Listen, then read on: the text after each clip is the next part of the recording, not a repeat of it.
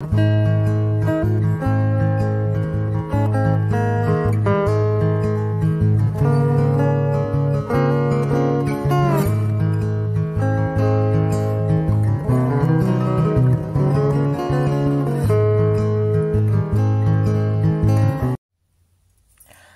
hola crocheteras, ¿cómo están? Bienvenidas a mi canal. Hoy les quiero enseñar un punto que es súper fácil, tiene una trama muy bonita y lo podemos utilizar tanto en invierno como en verano. Yo les muestro acá, tengo algunas muestritas tejidas en hilo de algodón, en lanita y este combinando colores para que vean qué lindo que queda. Antes de que empecemos con el paso a paso, quiero pedirles que no se olviden de suscribirse a mi canal, activar la campanita de notificaciones que está a un costadito arriba para que YouTube les avise cada vez que yo subo un video nuevo. Vamos a ver cómo lo vamos a tejer. Yo para, este, eh, para hacer estas muestras utilicé un poquito de lana y una aguja número 6 es un cashmere en semi grueso y para las muestritas que tejí en hilito de algodón usé una agujita número 4 y algodón 8-6, pero ustedes pueden tejerlo en los distintos materiales que quedan ya que esta trama es, em, queda muy bonita.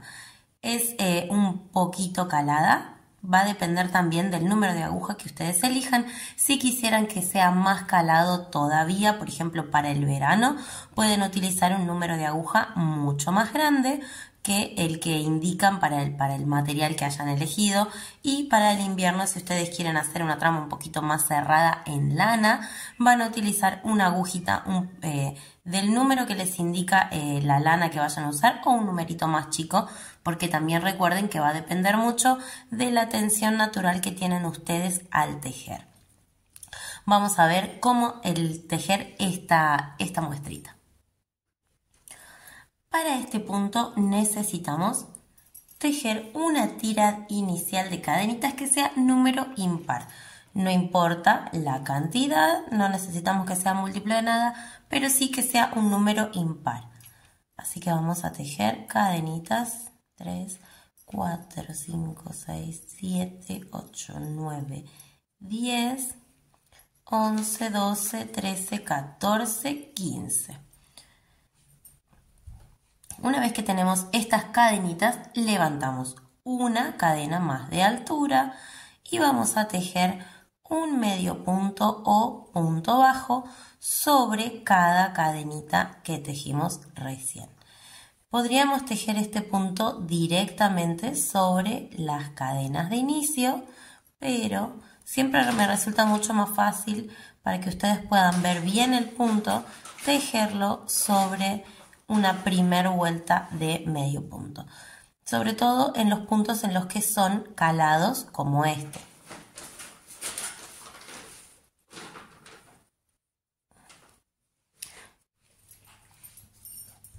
A partir de la vuelta número 2 vamos a girar, levantamos una cadena de altura y siempre vamos a levantar una cadena porque este punto está tejido completamente en medios puntos o puntos bajos.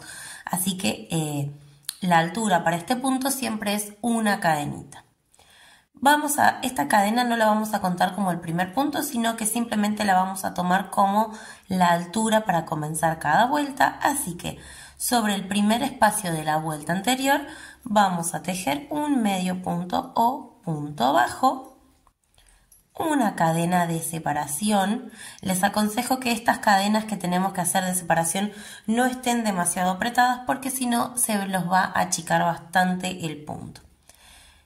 Dejamos una cadenita de separación, así que vamos a saltar un punto de base y vamos a lo que sería nuestro tercer espacio a tejer nuevamente otro medio punto y así vamos a ir completando esta vuelta tejiendo un medio punto, una cadena de separación, dejamos un punto libre, vamos al siguiente, medio punto y así hasta que llegamos al final de esta vuelta en donde tenemos que terminar con un medio punto.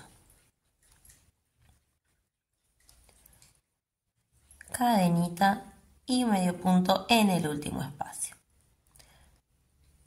Giramos, levantamos nuevamente una cadena de altura y repetimos. Sobre los medios puntos vamos a tejer siempre medios puntos o puntos bajos. Y sobre las cadenas vamos a ir tejiendo cadenas. Nos van a quedar siempre los mismos puntos uno arriba del otro. Medio punto sobre el medio punto, cadena de separación sobre la cadena de separación de la vuelta anterior. Yo les voy a mostrar cómo nos quedaría ahora este puntito mucho más terminado. Y les voy a explicar algunos pequeños detalles eh, sobre esta trama que es súper linda y muy fácil para que ustedes después puedan aplicarlo a diferentes proyectos porque hay algo que hay que tener en cuenta que es bastante importante y es el tema de la tensión de este hilado y cómo de este hilado, no, de este punto y cómo cede, tiende a ceder o a, a tener cierto peso y caer hacia abajo.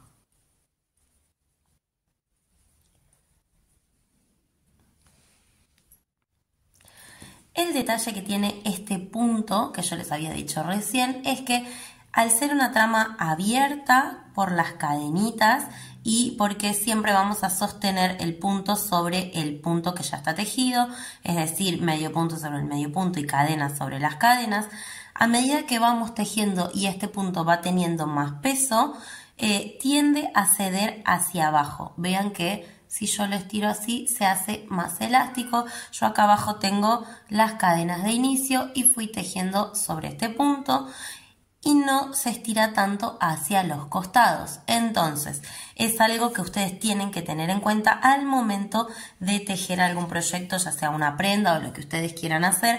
Em, va, a ser el peso que vaya a tener y en ese caso van a tener que tener en cuenta eh, trabajar con la tensión negativa del tejido, es decir, que ustedes em, van a tener que tener en cuenta la medida que vayan a, del largo, por ejemplo, porque esto se va a estirar un poquito y al estirarse hacia abajo se achica del ancho. Entonces quizás tengan que darle unos centímetros más de holgadura hacia los costados para que cuando tenga peso y se achique no les quede demasiado chico el ancho y quizás tener, tejer un par de vueltas menos para tener unos centímetros menos en el largo y que cuando la prenda se asiente y esté tejida y ya la estemos utilizando, no quede excesivamente largo. Así que ya con todo esto explicado, espero que les haya gustado mucho este video. Es un punto súper fácil, como ya vieron, que pueden usar tanto en invierno como en verano y es eh, ideal para principiantes, porque tiene una linda textura, una linda trama, pero es muy fácil de lograr. Las leo en los comentarios, chicas, me cuentan qué les parece, si lo harían para invierno, para verano, en hilito de algodón, combinando colores que también queda súper lindo. Si les gustan estos videos, no se olviden de compartirlos, que a mí me ayuda muchísimo para seguir creando más contenido. Ahora sí, les mando un beso enorme. Chao.